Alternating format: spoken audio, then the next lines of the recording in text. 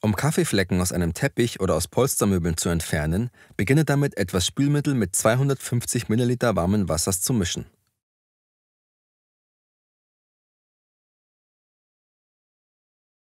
Tupfe diese Lösung mit Hilfe eines Papiertuches auf den Fleck und lass sie für 5 Minuten einwirken. Tupfe anschließend mit einem in sauberes Wasser getränkten Papiertuch über den Fleck, um Seifenreste zu entfernen. Bei hartnäckigen Flecken kannst du 125 ml Wasserstoffperoxid mit einem Teelöffel Ammoniak mischen.